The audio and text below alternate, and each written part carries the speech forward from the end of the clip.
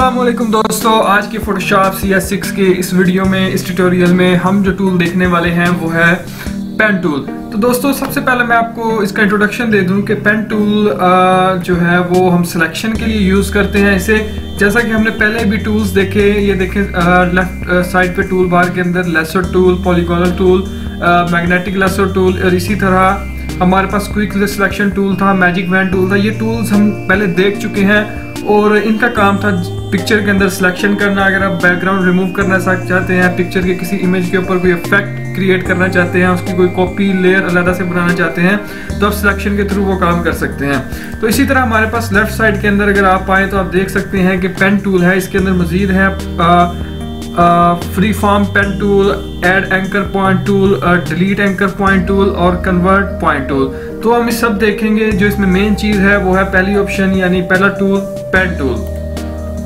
तो दोस्तों, इसका यूज़ देखने के लिए हम यहाँ पहले फ़ाइल ओपन कर लेते हैं, ताकि हम उसके ऊपर अप्लाई करके इसे देख सकें. फॉर एग्जांपल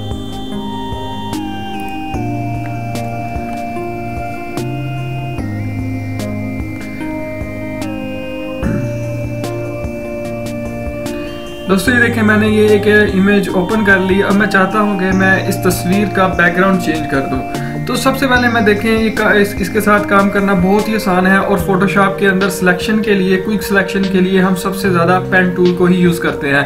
जब आप भी इसके साथ काम करेंगे तो आप भी इसके फ़ैन हो जाएँगे। तो सबसे पहले ये देखें हमारे पास दो ऑप्शन हैं। ऊपर एक है शेप की और एक है पाथ की। अभी हम पाथ के ऊपर बात करते हैं। ये सिलेक्शन के लिए हम इसे इस्तेमाल करते हैं। और उसके बाद हम शेप की बाद में बात करते हैं। तो दोस्तों ये देखें सिलेक्शन करना बहुत ही आसान है। ये देखें यहाँ पे जस्ट आपने इसके ऊपर एक पॉइंट दिया। उसके बाद ये देखें ये नेक्स्ट पॉइंट दे दिया। लेकिन आप कहेंगे कि यहाँ से तो हिस्सा गोल था तो आपने इसको कैसे आ, सीधा लगा दिया? तो इसका क्या बेनिफिट हुआ हमें? तो दोस्तों मैं आपको बता दूँ कि इसकी मदद से हम ये देखें इसको जितना मर्ज़ी राउंड कर सकते हैं। मैं आपको क्लोज करके बताता हूँ। ये देखें। ये देखिए, मैं यहाँ पे एक और पॉइंट लगाता हूँ और मैं इसको जितना मर्ज़ी राउंड कर सकता हूँ। बस आपने इसको पकड़ के रखना है और ड्रैग करते जाना है, ठीक है? ये देखिए, यहाँ पे एक्यूरेट है, मैं इसको यहाँ पे लाके छोड़ दूँगा। और अब ये देखिए, हमारे पास तीन तरह की ये पॉइंट्स बन गए यहाँ पे। एक ये वाला पॉइंट एक ये वाला पॉइंट और एक ये। अब, वो, अब क्या करना है हमने? अगर मैं इसको फॉर एग्जांपल ये देखो, मैं अगर नेक्स्ट पॉइंट यहाँ पे लूँगा तो वो देखें, गलत हो रहा है, ठीक है? अगर मैं चाहता हूँ कि ये हमारा पॉइंट ये जो मिड वाला पॉइंट है, ये हमें एज आ नेक्स्ट पॉइंट मिल जाए तो मैं क्या करूँगा? जस्ट ऑप्शंस में जाऊँगा और लास्ट पे होगा कन्वर्ट पॉइंट टूल मैं इसको यहाँ से सिलेक्ट करूँगा और इसके ऊपर लाके मैं जैसे ही क्लिक करूँगा तो आप देखें वो जो दूसरे पॉइंट थे, वो खुद ब खुद गायब हो जाएँगे, ठीक है? और इसके साथ साथ मैं इसको आल्ट का बटन दबा के भी इसको मैं यहाँ से ख़त्म कर सकता हूँ, ठीक है? आल्ट का बटन दबाऊँगा और मैं जस्ट इसके ऊपर क्लिक करूँगा तो ये खुद ब खुद ये पॉइंट यहाँ से ख़त्म हो जाएगा, ठीक है? उसके बाद ये देखिए मैं यहाँ से और सिलेक्शन कर लेता हूँ। आल्ट के बटन दबा के मैं इसको सिलेक्ट कर लूँगा, ठीक है? ये मैं आपको बता रहा हूँ और जब भी आपने सिलेक्शन को करना है तो आपने बहुत ही एहतियात से रुक रुक के थोड़ा सा आपने इसको करना है। देखिए, जिस तरह ये सिलेक्शन थी, आप इसे यहाँ से राउंड करके कर सकते हैं, ठीक है? और इसी तरह आप पूरी सिलेक्शन यहाँ से कर सकते हैं। ये अभी मैं आपको एक रफ सा बता रहा हूँ। आपने बड़े ही इसको प्यार से खुद सिलेक्शन कर लेनी है, ठीक है? अब दोस्तों ठीक है, और उसके बाद आपने यहाँ पे आना है। यहाँ पे, ये देखिए, मैं आपको एक पूरी सिलेक्शन करके बता दूँ, ताकि आपको पता चल जाए। उसके बाद ये देखिए, जब ये क्लोज हो जाएगा तो आप यहाँ पे आगे इसके ऊपर राइट क्लिक करेंगे और यहाँ पे ऑप्शन देखें एक होगी मेक सिलेक्शन ठीक है? मेक सिलेक्शन के ऊपर क्लिक करेंगे, यहाँ से आप इसका फीदर रेडियस वन कर दें। फीडर फीदर रेडियस क्या होगा? ये मैं आपको बता दूँ कि चले इसकी मैं एक अलहदा से एग्जांपल देता हूँ आपको। भी फीदर रेडियस फॉर एग्जांपल मैं इसका टू कर देता हूँ और यहाँ से ओके कर दूँगा। तो ये मेरे पास एक सिलेक्शन बन गई, ठीक है? और फीदर का मैं आपको बाद में बताता हूँ। और उसके बाद मैं यहाँ से इसको कंट्रोल यहाँ से एडिट में जाके इसकी मैं कॉपी करके और जैसे मैं कंट्रोल वी करूँगा तो ये आप देखें यहाँ पे इसकी एक अलहदा से लेयर बन गई। अब मैं इसका पीछे से बैकग्राउंड भी चेंज कर सकता हूँ। फॉर एग्ज़ाम्पल मैं यहाँ से एक न्यू लेयर ओपन करके इसको कलर फिल कर देता हूँ तो ये देखें मैं इस तरह से कर सकता हूँ। अगर आप इसे बड़े ही क्लोज करके जूम कर करके अगर इसे आप कट करेंगे तो आप बड़े ही अच्छे तरीके से इसे परफॉर्म कर सकते हैं। ठीक है? ये तो था इसका काम। तो पेन टूल के अंदर ही आप अगर देखें तो हमारे पास इसके अंदर ऑप्शन है combine shape subtract shape intersect shape exclude shape ठीक है? मैं कोर फ़ाइल ओपन करता हूँ और उसके अंदर आपको इसका समझाने की कोशिश करता हूँ कि इनका क्या काम है। और ये चीज़ें हम पहले देख चुके हैं लेसो टूल्स वगैरह के अंदर ऐड करना इंटरसेक्ट करना, इस तरह की चीज़ें। फॉर एग्ज़ाम्पल ये देखें, मैं ये एक पाकिस्तान का फ्लैग ओपन कर लेता हूँ। इसके अंदर आपको बताता हूँ कि इस ऑप्शंस का क्या काम है।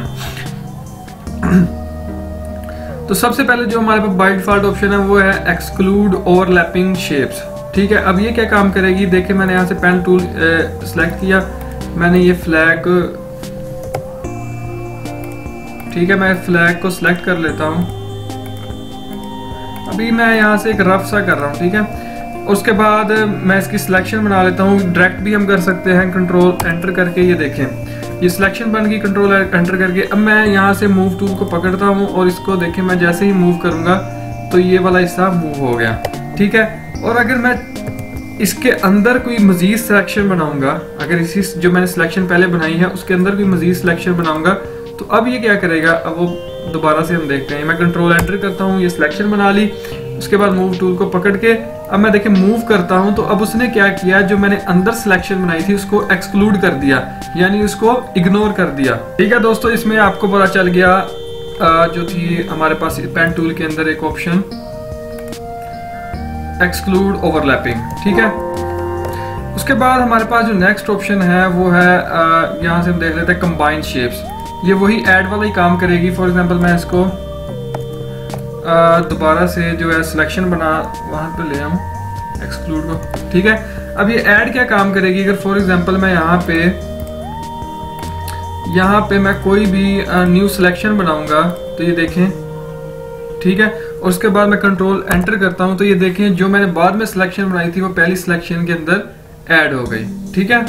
और इसी तरह हमारे पास जो नेक्स्ट ऑप्शन है, इसी के अंदर वो है सब्ट्रैक्ट फ्रॉम शेप अगर फॉर एग्जांपल मैं यहाँ पे देखें, एक लैदा से पहली शेप बनी हुई है, उसके अंदर एक और लैदा से बनाने की कोशिश करूँगा तो अब क्या होगा? अब मैं जैसे ही कंट्रोल एंटर दबाऊँगा तो ये देखें, जो उसने, जिस हिस्से को मैंने दोबारा से सिलेक्शन बनाई वो वहाँ से सब्ट्रैक्ट कर दिया उसने, ठीक है? उसके बाद एक रह गया है, उसे भी हम देख लेते हैं। वो कौन सा? है वो है हमारे पास इंटरसेक्ट शेप एरिया ठीक है? इंटरसेक्ट से क्या मुराद है? जो इस सिलेक्शन का और जो बाद वाले सिलेक्शन का हिस्सा आपस में कंबाइन करेगा, वो उसको सिलेक्शन बना देगा। फॉर एग्ज़ाम्पल ये देखें।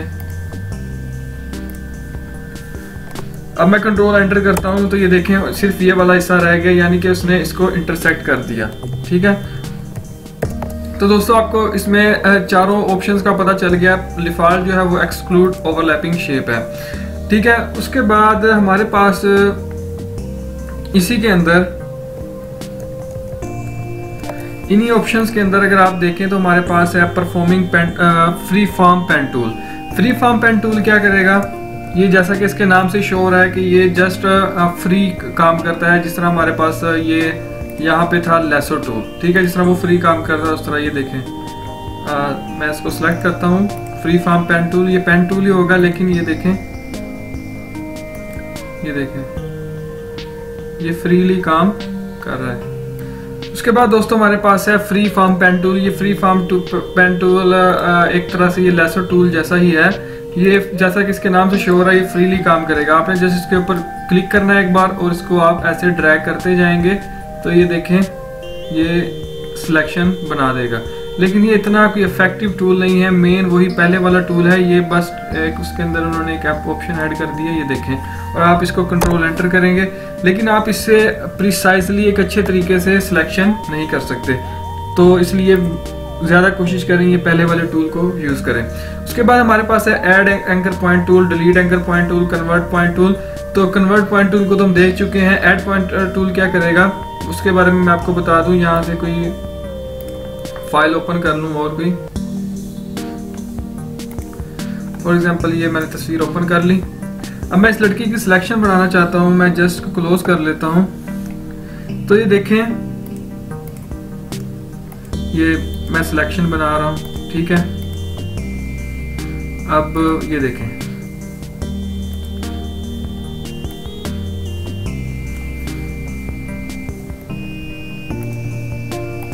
अभी मैं आपको बताता हूँ कि इसका हम कैसे इस्तेमाल करेंगे, ठीक है?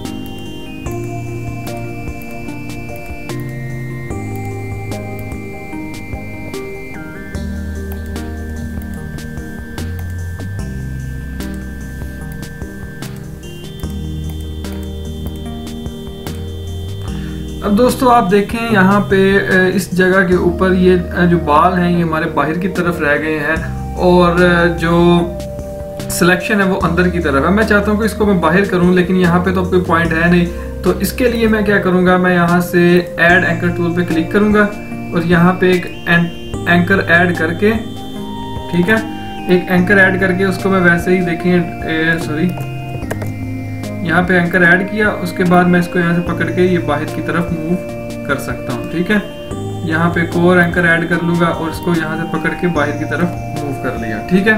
और उसके बाद, बस जस्ट ये।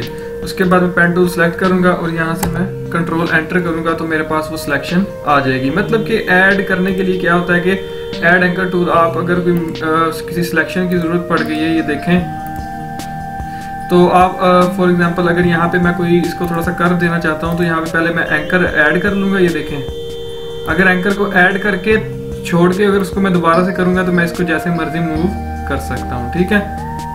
और इसी तरह मैं यहाँ पे एक और एंकर ऐड कर लेता हूँ, और उसको ऐड करके मैं उसको जिस तरह मर्ज़ी, जिस मर्ज़ी एंगल पे इस तरह से घुमा सकता हूँ, ठीक है? तो दोस्तों, ये था हमारे पास ऐड एंकर इसी तरह हमारे पास डिलीट एंकर है, ये क्या करेगा उसको? खत्म कर देगा। कोई भी अगर एंकर पॉइंट को आप खत्म करना चाहते हैं, मैं यहाँ पे क्लिक करूँगा, ये देखें, खत्म कर दिया उसने। यहाँ पे क्लिक करता हूँ तो ये खत्म कर देगा। ठीक है? उसके बाद कन्वर्ट पॉइंट टूल इसके बारे में आपको बात कर चुका हूँ। ये हम बार बार यूज़ करते हैं, इसकी शॉर्ट की आर्ट है। ठीक है? इसको हम किस तरह यूज़ करते हैं, ये देखें यहाँ पे। अगर मैं यहाँ पे ला के इसको ऐसे कर्व करूँगा, ये देखें। तो ये चीज़ को मैं ख़त्म करने के लिए मैं यहाँ से आर्ट को दबा के इसको ख़त्म कर सकता हूँ। आर्ट को दबाऊँगा और ये देखें यहाँ पे नीचे को बन जाएगा और मैं जस्ट इसके ऊपर ला के क्लिक करूँगा तो ये ख़त्म हो जाएगा और मैं यहाँ से अपनी सिलेक्शन को आगे लेके चल सकता हूँ। ठीक है? और उसके साथ दोस्तों मैं देखें यहाँ से कंट्रोल को दबा के रखूँगा। अगर मैं यहाँ से कंट्रोल को दबा के रखूँ तो ये देखें, एक एरो में चेंज होगा। ये एरो कौन सा है? ये हमारे पास ये डायरेक्शन टूल है। ये डायरेक्शन टूल क्या करेगा? सॉरी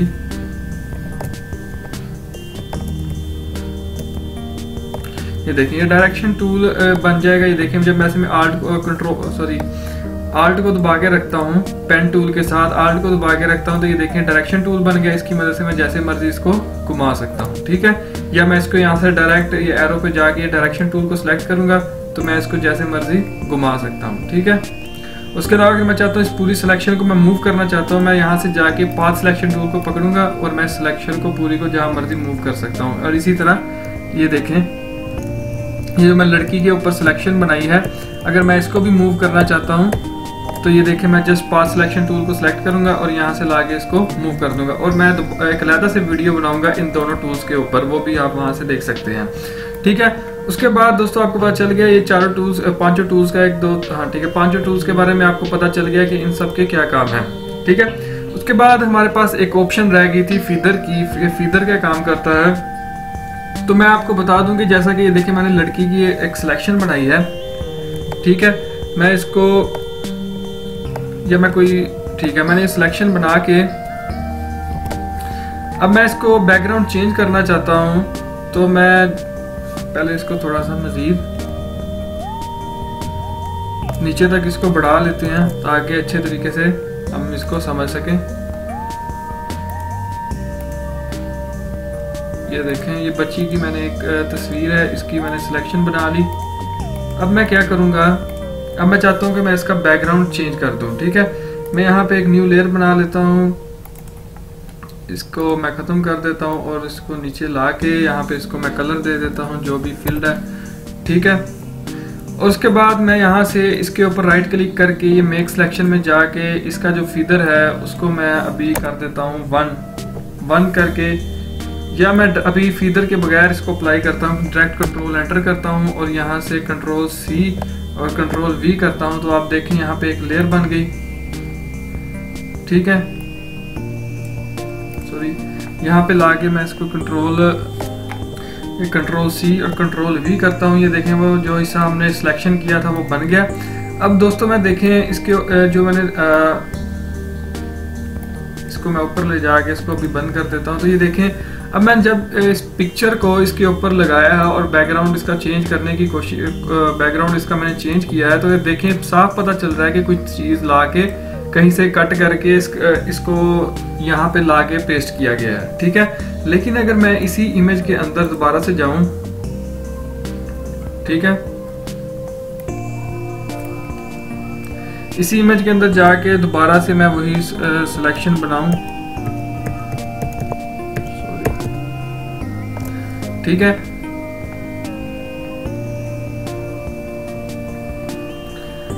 मैं दोबारा से करता हूँ, यहाँ से एक न्यू लेयर बनाता हूँ।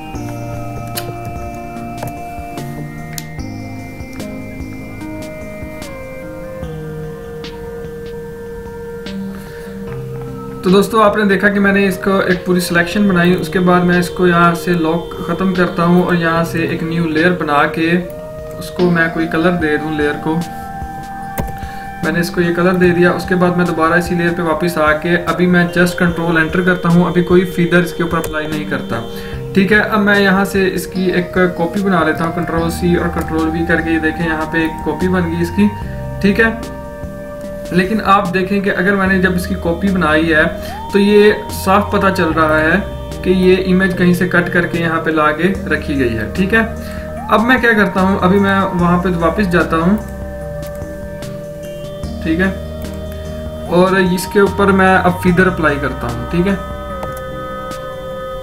तो दोस्तों, ये देखें मैंने इसके ऊपर एक सिलेक्शन बना ली। मैं यहाँ से एक न्यू फ़ाइल बनाता हूँ और मैं चाहता हूँ कि इसका मैं बैकग्राउंड चेंज कर लूँ, या मैं यहाँ से कोई और फ़ाइल ओपन कर लेता हूँ, ठीक है, ताकि मैं इसको, उसको एज आ इसका बैकग्राउंड यूज़ कर सकूँ।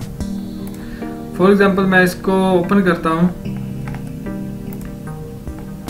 और इस इमेज को पहले मैं बैग बगैर फीदर के वहाँ पे जाके पेस्ट करता हूँ, मैं इसको कंट्रोल एंटर करता हूँ अभी फीदर अप्लाई नहीं करता। इसको यहाँ से मैं कंट्रोल यहाँ से इमेज एडिट में जाके कॉपी करता हूँ, जो सिलेक्शन है, और यहाँ पे जाके मैं इसको पेस्ट करता हूँ कंट्रोल वी करता हूँ। इसके बाद दोस्तों, हम समझते हैं फीदर को फीदर क्या है? फीदर बहुत ही आसान है, वो मैं आपको एक एग्जांपल के थ्रू समझाता हूँ। फॉर एग्ज़ाम्पल ये देखें, मैं इस इमेज के इस हिस्से को कट कर लेता हूँ यहाँ से। पहले मैं एक, इसका फॉर एग्ज़ाम्पल बैकग्राउंड चेंज करना चाहता हूँ। मैं एक न्यू फ़ाइल बना लेता हूँ।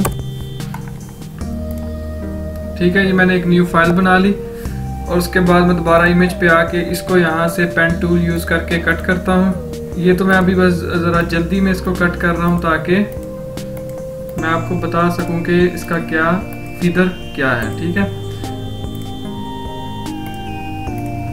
ठीक है दोस्तों, अब मैं इसको पहले बगैर फीदर के यहाँ से करता हूँ कंट्रोल एंटर करके हम डायरेक्ट भी इसको सिलेक्शन कर सकते हैं, लेकिन उसके ऊपर फीदर अप्लाई नहीं होगा। उसको मैं यहाँ से एडिट में जाके कंट्रोल कॉपी करता हूँ और यहाँ पे ला के एडिट में जाके इसको यहाँ पे पेस्ट कर देता हूँ। ठीक है, ये मेरे पास यहाँ पेस्ट होगी।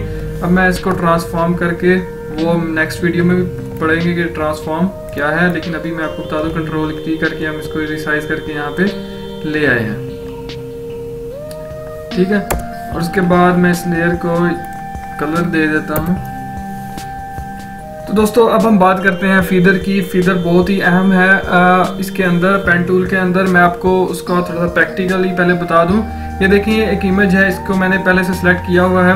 और अभी मैं इसके ऊपर फीदर नहीं अप्लाई करता। मैं जस्ट डायरेक्टली इसको कंट्रोल एंटर करके सिलेक्शन को बनाता हूँ ठीक है? कंट्रोल एंटर किया। और उसके बाद मैं यहाँ से एडिट में जाके कॉपी करता हूँ। और यहाँ पे ला के इस इमेज के अंदर एडिट में जाके यहाँ पे पेस्ट करता हूँ, ठीक है?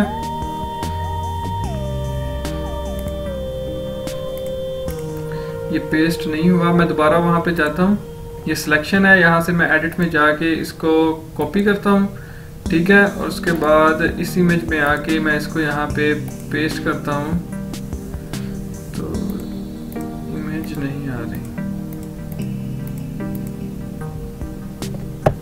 इसके बाद दोस्तों हम बात करते हैं फीदर की। फीदर जो कि इसके अंदर एक अहम, बहुत ही अहम फ़ंक्शन है, ठीक है? पेन टूल के अंदर हम इसका वो यूज़ करते हैं ताकि फॉर ख़ास तौर पे जब हम बैकग्राउंड चेंज की बात कर रहे होते हैं किसी भी इमेज की तो वो उसके अंदर बहुत ही ज़्यादा अहम होता है। तो ताकि वो हमें एक रियल इफ़ेक्ट दे। तो देखते हैं, हम अपनी एग्जांपल के थ्रू फॉर एग्जांपल ये मैंने सिलेक्शन बनाई है, मैं बगैर पहले फीदर अपनी अप्लाई करता डायरेक्ट इसको कंट्रोल एंटर करके कंट्रोल एंटर करके सिलेक्शन की, उसके बाद एडिट में जाके मैं इसको यहाँ से कॉपी करूँगा और यहाँ पे ला के मैं इसको जी एडिट में जाके पेस्ट कर देता हूँ, ठीक है? ये क्योंकि इमेज का साइज़ बड़ा है, इसलिए मैं कंट्रोल टी करके इसको पहले मैं थोड़ा छोटा कर लूँ। उसके बाद ये देखिए, मैं यहाँ पे इसको अप्लाई कर रहा हूँ। ठीक है? इसको अप्लाई कर देते हैं यहाँ पे। मैं इसको यहाँ पे लाके छोड़ देता हूँ और एंटर क्लिक करता हूँ और यहाँ पे आ गया, ठीक है? और उसके बाद दोस्तों, मैं अब दोबारा वहीं पे जाता हूँ सिलेक्शन को दोबारा से मैं करता हूँ। अब अब मैं इसके ऊपर फीदर अप्लाई करता हूँ। फीदर अप्लाई करने के लिए मैं यहाँ पे राइट क्लिक करूँगा और ये आप देख सकते हैं कि हमारे पास ऑप्शन है मेक सिलेक्शन मेक सिलेक्शन के ऊपर क्लिक करूँगा तो मुझसे पूछ रहा है कितना फीदर रेडियस रखना है। मैं यहाँ पे रख देता हूँ जी टू चले अभी टू है। फीदर रेडियस है टू उसके बाद मैं यहाँ पे ओके करता हूँ और ये मैंने यहाँ से फिर एडिट में जाता हूँ और एक कॉपी बना के वापस यहाँ पे आके मैं इसमें एडिट में जाके पेस्ट करूँगा। तो ये देखिए मेरे पास एक कॉपी बन गई। मैं कंट्रोल टी करके इसको भी रिसाइज कर लेता हूँ। ये देखें। अब की बार में और पहले वाली में आप खुद ही फ़र्क देखिएगा। ये देखें।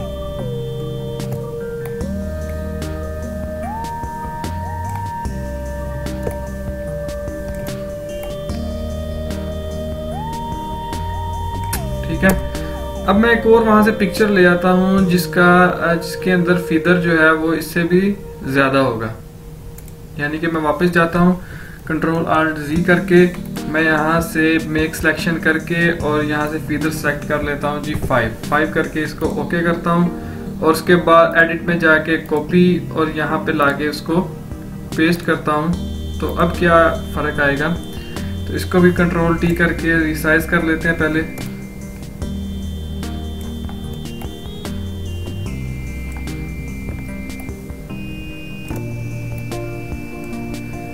तो दोस्तों आप खुद ही देख सकते हैं कि तीनों इमेजेस के अंदर कितना फ़र्क है। फ़र्क कहाँ से आपको ज़्यादा मालूम होगा अगर आप बाजुओं के करीब से देखें। तो ये वाली पहल, ये सबसे पहले ये वाली बगैर फीदर की इमेज देखें तो ये साफ़ पता चल रहा है कि ये इमेज जो है ये इसके ऊपर ही रखी गई है। यानी कि ये जो इमेज है ये डायरेक्ट कहीं से कट करके ला के यहाँ पे पेस्ट की कर पेस्ट कर दी गई है, लेकिन जैसे जैसे फीदर देखें बढ़ता जा रहा है, ये पता चल रहा है कि जो इमेज जो है वो जैसा कि बैकग्राउंड इमेज का ही पार्ट है, कुछ इस तरह से मालूम हो रहा है। यानी कि हम इसमें रियलिटी क्रिएट करने के लिए चीज़ों को, चीज़ों के अंदर से फॉर एग्जांपल बैकग्राउंड और जो हम चीज़ उसके ऊपर पेस्ट कर रहे हैं ला के कॉपी करके, उन दोनों में एक कनेक्शन बनाने के लिए हम फीदर को अप्लाई करते हैं और फीदर हमने इमेज के मुताबिक इमेज की क्वालिटी के मुताबिक अप्लाई करना होता है। यानी कि इस इमेज के अंदर अभी और भी फीदर की ज़रूरत है। लेकिन आप देखें कि ये किस तरह से लग रहा है कि जैसे ये इसी इमेज का, इसी पार्ट इसी बैकग्राउंड इमेज का पार्ट है, ठीक है? तो फीदर का ये इसमें यूज़ है। उसके अलावा आप, मैं इसको अगर आप इसी इमेज के अंदर आपको दिखाऊँ, ये ये मेरे पास एक यहाँ से मैं आपको अगर इसके फीदर को अप्लाई करके दिखाऊँ तो आपको पता चलेगा। ये देखें, अभी मैं इसको कंट्रोल एंटर करके यहाँ से कंट्रोल सी और कंट्रोल वी करता हूँ। ठीक है? उसके बाद कंट्रोल आल्ट जी करके।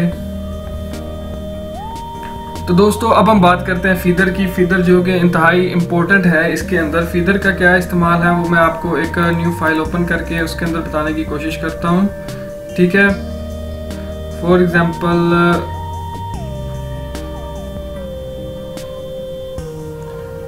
फॉर एग्ज़ाम्पल मैं ये इमेज ओपन कर लेता हूँ, ठीक है? और मैं इसको यहाँ से कट करता हूँ पेन टूल की मदद से।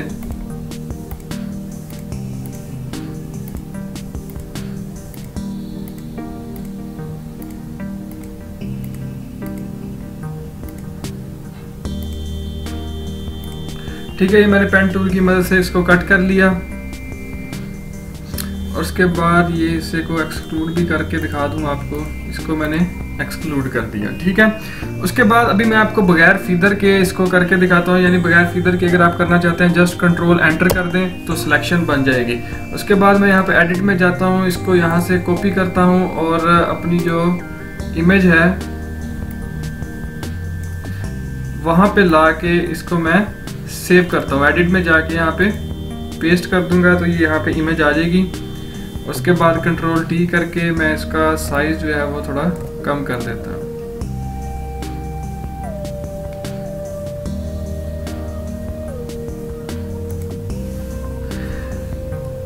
उसके बाद दोस्तों मैं फिर दोबारा यहाँ पे उसी इमेज पे वापस आता हूँ और यहाँ से अब मैं यहाँ पे फीदर अप्लाई करता हूँ।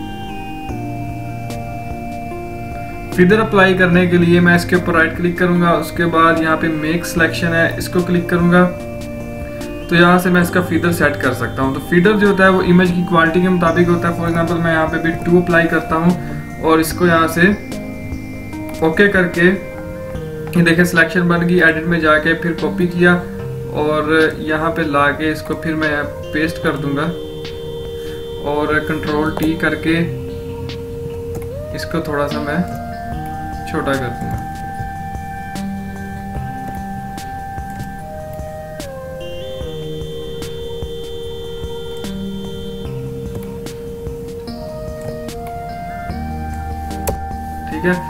उसके बाद मैं फिर दोबारा से उस इमेज पे जाता हूँ और यहाँ से अब मैं फीदर को फाइव करके देखता हूँ तो क्या इफ़ेक्ट आएगा मेक सिलेक्शन उसके बाद फीदर को किया फाइव और यहाँ से किया ओके और एडिट कॉपी और वही इमेज पे ला के इसको पेस्ट कर देते हैं, ठीक है? कंट्रोल टी करके इसको रिसाइज कर लेते हैं ताकि फ़र्क को अच्छे तरीके से देख सकें।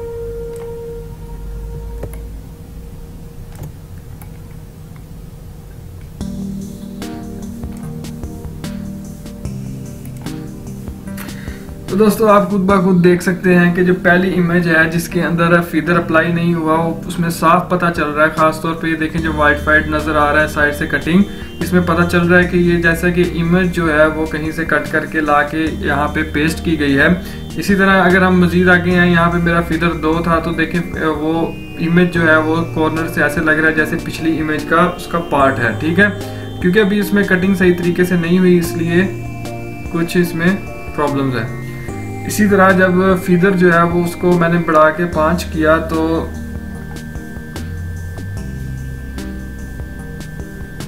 तो आप देख सकते हैं कि वो इसके बैकग्राउंड जो इमेज है, इसके अंदर मर्च होती मालूम हो रही है, यानी उसका ही पार्ट एक तरह से मालूम हो रही है।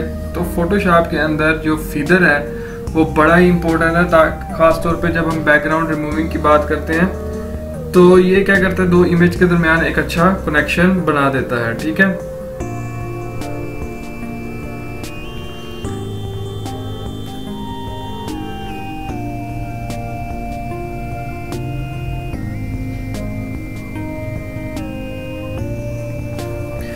उसके बाद दोस्तों हमारे पास जो नेक्स्ट ऑप्शन है, वो है दोनों ऑप्शंस के अंदर ही शेप की। तो शेप क्या काम करता है? ये जैसा कि इसके नाम से शो हो रहा है तो जस्ट मैं इसके लिए एक न्यू फ़ाइल बनाता हूँ सबसे पहले। ठीक है? इस न्यू फ़ाइल के अंदर अब मैं क्या करना चाहता हूँ कि जी, इस शेप पेन टूल के यहाँ से मैंने शेप सेलेक्ट कर ली। अब मैं यहाँ से इसके साथ कोई भी शेप बना सकता हूँ, ये देखें। पेन टूल की मदद से यहाँ पे कोई भी शेप बनाई जा सकती है, ठीक है? जैसे ही मैं शेप को बनाऊँगा तो यहाँ पे वो देखें, उसकी एक लैदर सी लेयर बन जाएगी, ठीक है? और उसको यहाँ से मैं रेस्टराइज कर सकता हूँ, ठीक है? सॉरी अब शेप बन गई, और शेप के अंदर मैं यहाँ पे कोई भी कलर यहाँ से आके फिल कर सकता हूँ, ठीक है? फॉर एग्ज़ाम्पल ये पैरेट कलर सेलेक्ट करके यहाँ पे इसको पेस्ट कर देता हूँ तो इसके अंदर पैरेट कलर आ जाएगा। अगर मैं इसके ऊपर क्लिक करूँगा तो इसमें कोई कलर नहीं आएगा। यहाँ से ब्लैक कर सकता हूँ यहाँ से ये देखें, ये मैं कोई भी ग्रेडियंट अप्लाई कर सकता हूँ। ग्रेडियंट के बारे में हम पिछली वीडियोस में देख चुके हैं। उसके बाद यहाँ से कोई भी पैटर्न अप्लाई किया जा सकता है, ठीक है? अभी मैं रेड कलर इसमें फिल कर देता हूँ। उसके बाद ये स्ट्रोक्स आ जाती हैं। स्ट्रोक यानी उसकी बाउंड्रीज पे कौन सा कलर रखना चाहते हैं, मैं यहाँ पे जी ब्लैक कर देता हूँ। तो ये देखें, ये ब्लैक कलर आ जाएगा।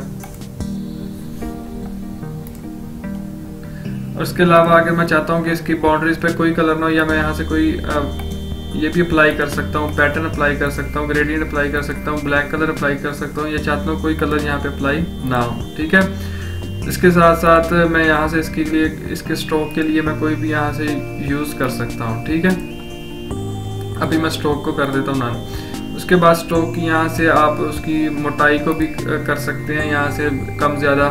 ठीक है विथ और ये हाइट वगैरह को भी यहाँ से कंट्रोल किया जा सकता है। शेप का बहुत ज़्यादा यूज़ होता है। आप इसको ये देखें यहाँ से मैं इसकी कोई भी शेप बना सकता हूँ। ये देखें ठीक है।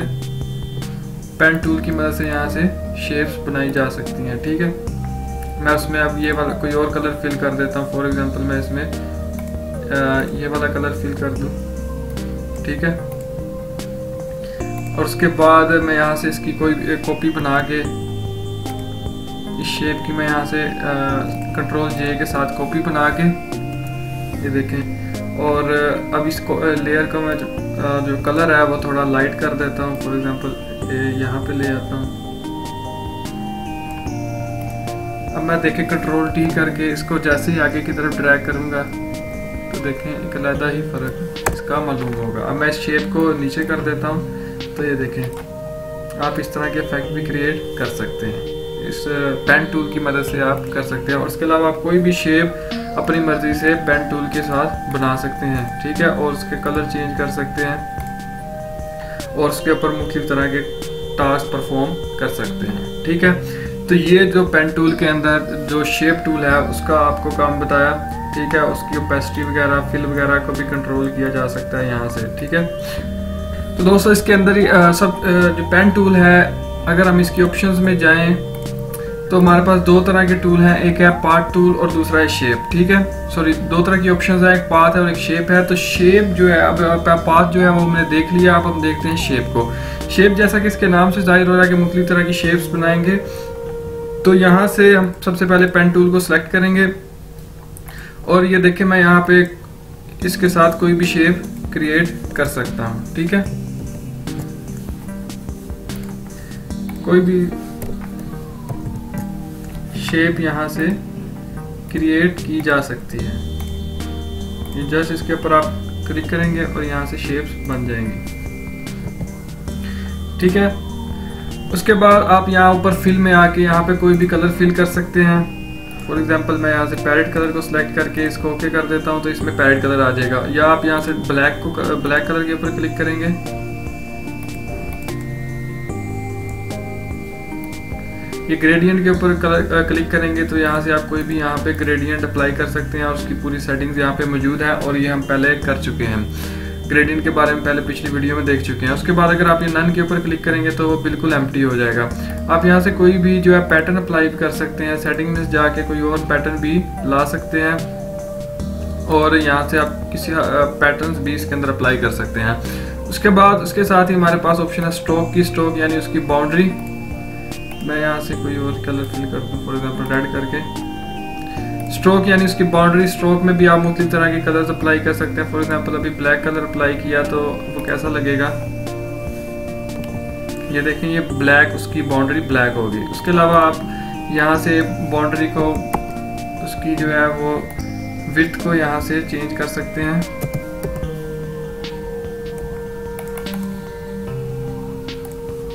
ठीक है? ये आप इसकी विथ यहाँ से अप्लाई कर सकते हैं इसके ऊपर ठीक है? उसके बाद हमारे पास यहाँ से ये आ, हम इसको डोटेड या किसी भी दूसरी शेप की हम यहाँ से सिलेक्ट कर सकते हैं ठीक है? और स्ट्रोक को हम यहाँ से नन भी कर सकते हैं ठीक है? और इसके अलावा यहाँ से विथ और हाइट वगैरह को भी कंट्रोल किया जा सकता है। उसके बाद मैंने आप इसके अंदर मुख्तु तरह के इसको देखें डिज़ाइन बना सकते हैं। शेप टूल को यूज़ करके क्योंकि इससे एक लेयर बन जाती है और आप उस लेयर को यूज़ करके आप किसी भी तरह से इस्तेमाल कर सकते हैं। आप इसको यहाँ से फिल कर लें किसी और कलर के साथ, ठीक है? और उसके बाद अगर मैं इसकी एक कॉपी बना लूँ कंट्रोल जे करके, और उसका कलर थोड़ा सा मैं लाइट कर दूँ लाइट पैरेट थोड़ा सा कर दूँ तो आप देखेंगे एक एक बड़ा ही खूबसूरत इफ़ेक्ट इसमें क्रिएट होगा। मैं इसको कंट्रोल टी करके अब मैं इसको आगे की तरफ़ लाऊँगा तो ये देखें आप कि एक बड़ा ही खूबसूरत इफ़ेक्ट इसमें क्रिएट हो गया। मतलब कि आप इस तरह से इसके मुख्तु तरह के डिज़ाइन बना सकते हैं अपने जो वेब पे, वेब पेजेस बैनर वगैरह और इन चीज़ों में इस टूल का जो है शेप के साथ बहुत ज़्यादा इस्तेमाल होता है। पेन टूल की मदद से शेप्स फोटोशॉप के अंदर जो ज़्यादातर शेप्स हैं वो पेन टूल की मदद से ही बनाई जाती हैं। ठीक है? तो दोस्तों, अभी तक मैंने आपको पेन टूल के बारे में तकरीबन तमाम चीज़ें बता दी और इसके अंदर जो दो ऑप्शन हैं पाथ और शेप इन दोनों के बारे में भी आपको पता चल गया होगा। पाथ को हम ज़्यादातर सिलेक्शंस के लिए यूज़ करते हैं और शेप को हम शेप्स बनाने के लिए इस्तेमाल करते हैं। और इसके अलावा आपको कोई भी क्वेश्चन है तो आप कमेंट में पूछ सकते हैं। उम्मीद है कि आपको समझ आई होगी। Thank you very much for watching अल्लाह हाफिज़।